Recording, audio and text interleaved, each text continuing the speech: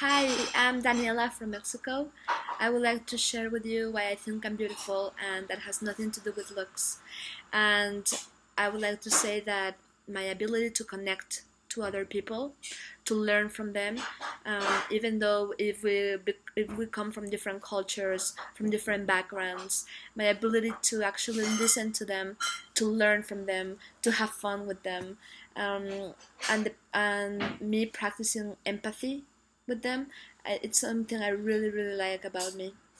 Also, I would like to share a personal experience. Ever since I was little, I used to to compare myself to other girls, um, and I used to think that if I didn't have the body of the models in the magazines, or if I didn't look like my favorite actress, I wasn't gonna be able to to like go for my dreams and make them happen. I used to think that. But then for the past year, I've been working on self awareness and I've learned to love myself. I've learned to actually admire who I am and show it to the world because I used to be afraid of show myself to the world. So my invitation to you is to love yourself enjoy you're different you're not gonna be like somebody else. Why would you want to be like somebody else when you're unique?